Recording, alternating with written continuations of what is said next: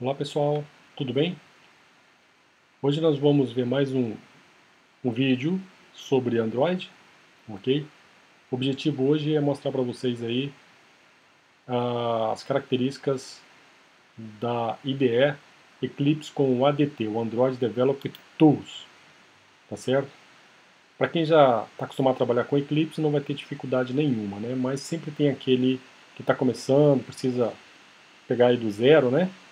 Ok? Então a gente vai fazer aqui um overview rapidão para nivelar vocês aí e a gente começar a desenvolver nossas aplicações, tá legal? Só lembrando, esse vídeo aqui faz parte de uma série de tutoriais, né? Estão disponíveis lá no site, né, no meu blog, é professormarcomado.blogspot.com.br, tá certo? Eu convido vocês a assinarem lá o, o blog, tá certo? Para ficarem sabendo das novidades. Quem quiser me seguir no Twitter, tá aqui Marco Mado, né? Arroba Marco Mado no Twitter também. Eu sempre vou estar tá postando lá né, as novidades. Tá certo? Bom, então vamos lá, pessoal. Eu já tenho o Eclipse aberto aqui, tá? Para a gente ganhar tempo. Ok? O que, que nós temos aqui? Essa área aqui é a área onde você cria, né? Você tem uma lista de projetos. Tá certo? Os projetos que vocês desenvolvem, eles ficam aqui. Quem está acostumado com Eclipse sabe muito bem do que eu estou falando. Mas vamos criar um projetinho aqui para vocês verem, tá certo? Eu vou criar um projeto chamado Hello World, né? Vou deixar tudo default, ok? Eu não vou entrar em detalhe agora, porque depois nós vamos falar especificamente sobre cada detalhe aí, tá legal, pessoal? Mas vamos lá, né? O objetivo aqui é só criar o projetinho mesmo, tá certo? Projeto criado, tá aqui o Hello World está criado, Tá legal?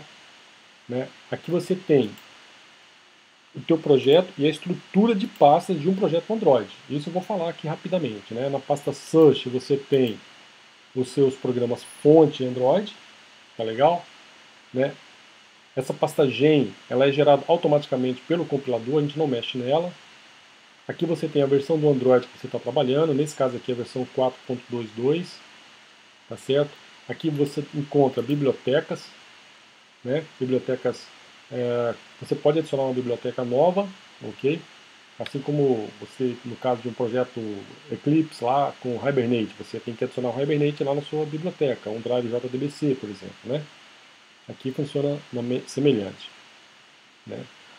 Aqui na Assets é utilizada para, por exemplo, você pode criar uma pasta aqui com arquivos HTML usando HTML5, ok?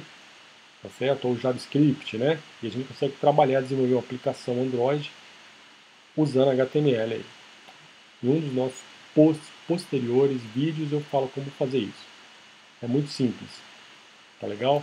Aqui na pasta lib, né, a, mesma, é a mesma, o mesmo objetivo, né, da Android Private Libraries aqui, tá legal? A pasta bin, ela é gerada também automaticamente, dependendo do que você está fazendo, você está alterando o seu projeto, ele mantém essa pasta atualizada. A pasta res é uma das maiores que nós temos aqui. O que, que tem aqui, né? Research, res vem de researches, tá certo? O drawable, você nota que aqui você tem HL, HDPI, LDPI, certo? MDPI, XHDPI, isso aqui refere-se às resoluções que você quer trabalhar, né?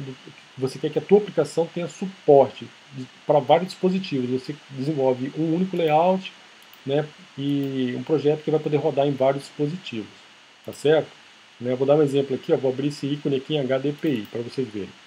Olha o tamanho do ícone aqui, né? Está bem pequenininho. Agora eu vou abrir aqui o X. Olha só a diferença, ó. Beleza? Dependendo do tamanho do meu display, né, no meu celular, no meu tablet, ele vai buscar o ícone correto para montar o layout sem problema. Tá legal? Aqui, olha, Nessa pasta layout, você tem o seu layout. Né? Tá aqui, o layout está criado.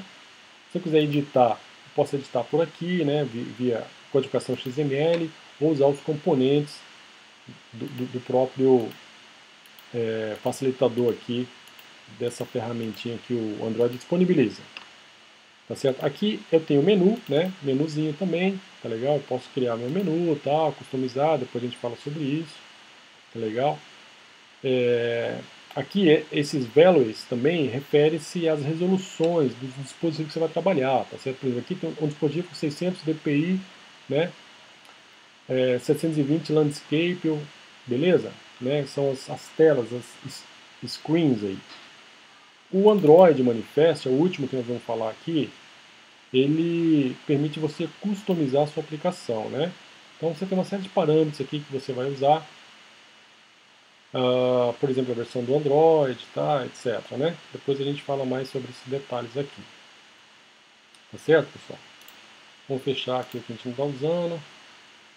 Tá legal? Aqui você tem, né, sua codificação. Aqui você, essa, eu gosto muito dessa ferramenta, né, que ela te, te dá um atalho lá para você. Você tem muitas classes. Desculpei. Você consegue facilmente localizar o que você quer aqui, os seus métodos, né, suas classes, etc. Por último, essa ferramenta aqui embaixo, ó, Logcat, é muito interessante, que ele, vou ligar um dispositivo real aqui, vou ligar um, um dispositivo Android, tá ligado? Você vê que ele está trazendo informações do meu dispositivo, tá vendo só? Interessante. Você pode filtrar isso aqui, né? Que você cria filtros conforme a sua necessidade. Ah, estou mexendo com um monte de dados. Você vai lá e cria um filtro para isso aí, né? Aqui você tem também, olha só, uma coisa interessante, né? Esses dois ícones. O primeiro ícone permite que você monitore aí e atualize o seu, o seu ambiente de desenvolvimento. Saiu uma versão nova do Android, você quer instalar isso aqui para ver como é que tem, o que tem de novidade, etc. Né? Tá certo, pessoal? Então ele está aqui, olha só você tem aqui ó, todas as versões. A versão 4.22 é a última, versão 4.1, versão 4.3. Né, olha, diminuir aqui para vocês verem com mais detalhe. Todas as versões do Android, você pode baixar todas para o seu equipamento. Eu não aconselho fazer isso porque pesa um pouco o ambiente. Né? Eu, eu por exemplo, eu tenho duas ou três no máximo instaladas aqui, né? e nada mais. Só o que eu preciso que eu estou usando mesmo, tá certo? Então aqui que você faz, é, é bem simples, por exemplo, não está instalado aqui, vamos pegar aqui alguma coisa daqui, né? Por exemplo, não está instalado aqui, é só você marcar, ele habilita para instalar, você instala. Tá legal? Demora um pouquinho, mas não dá problema.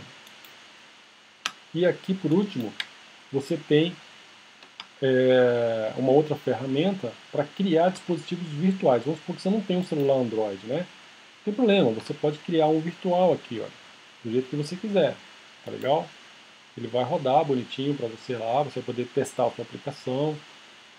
Porque alguns recursos você não vai ter. Você consegue simular GPS tal, né? Agora Bluetooth não funciona direito. Tem umas coisinhas aí que tem meio enrolado ainda. Mas de uma forma geral dá para você usar sem problemas. Ok, pessoal? Bom, eu acho que deu para a gente ter uma ideia legal, básica aqui, né, da IDE, tá certo? Próximo vídeo a gente fala mais aí de como criar a aplicação do zero, né? Como mudar o layout. E o componente que a gente vai usar é o test view. Esse aqui eu vou, só para finalizar, eu vou abrir ele aqui.